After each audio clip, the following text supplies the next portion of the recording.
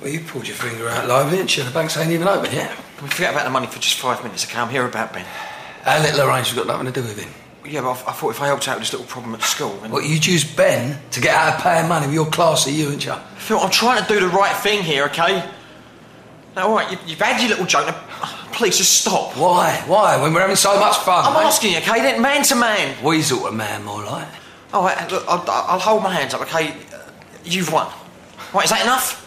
What, do you think I'd let you off the hook that easy? Eh? What's the matter? Can't you pull up the cash or something? No, I, I, of course I can get the cash. It's just... If I give it to you, I mean, then what? How do I know you won't do the same thing next week? Well, you don't, do you? That's brilliant, isn't it? Oh, Phil, please, I was trying to appeal to your better nature, but now I know there's nothing good about you at all, is there? Bill, eh? You're looking a bit waxy, son. Phil, please, I can't live my life like this, okay? Please. I'm, I'm family, aren't I? All right, look, for, for Ben's sake, I'm begging you. You're begging me? Yeah. Well, go on then.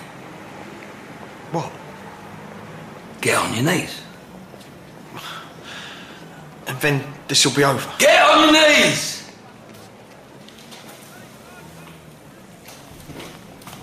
Now, repeat after me. I've been a very naughty little boy, and I'm not going to cheat on my lovely wife again. Please, Phil. Say it!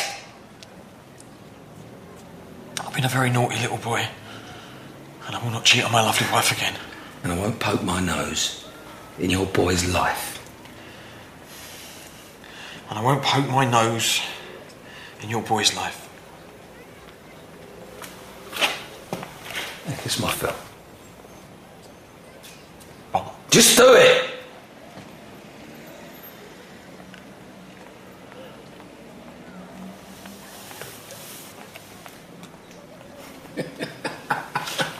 You actually did it, didn't you? You sad, sad little man.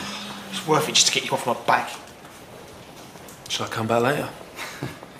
Now we're finished here.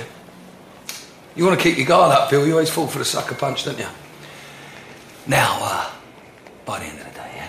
Yeah, hold hold on. You hold on. thought what? Huh? Now, like I say, we're done. Go on, sling her up.